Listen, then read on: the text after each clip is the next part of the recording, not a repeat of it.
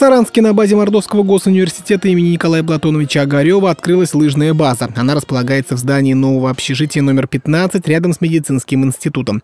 Новый спортивный объект будет носить имя Федора Степановича Огородникова, заслуженного работника физической культуры Мордовии, который на протяжении 33 лет возглавлял спортивную кафедру университета. Все было построено своими руками. Федор Степанович там организовывал раздевалки делал, помогал. Вот, что, все, э, сами студенты в летний период там и ремонт делали первоначально. А потом, конечно, у него самая главная была мечта, это чтобы было много лыжных пар на, на базе, их качественные инвентаря. Конечно, массовый прокат для студентов он должен обязательно быть, потому, потому что э, здоровье студентов тоже немаловажный фактор.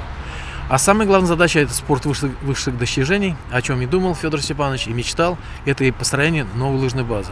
Старая лыжная база, которая располагается здесь же неподалеку, в 13-м корпусе, продолжит свою работу. Кстати, она строилась при непосредственном участии Федора Степановича и в основном была сделана своими руками. Открытие новой базы с современным инвентарем – давняя мечта Огородникова, которая осуществилась уже после его смерти. Эта лыжная база позволяет в полной мере реализовать ту прекрасную идею и ту инициативу, которую в свое время очень активно проявлял Федор Степанович Огородников.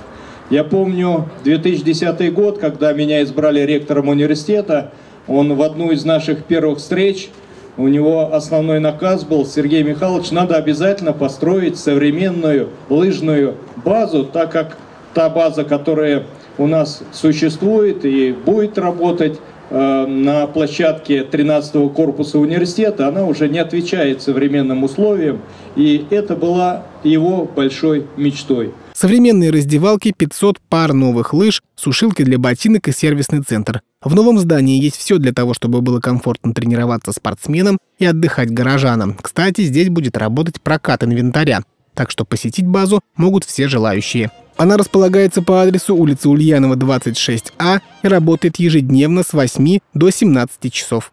Юрий Осипов, Александр Зюзяев. Наши новости.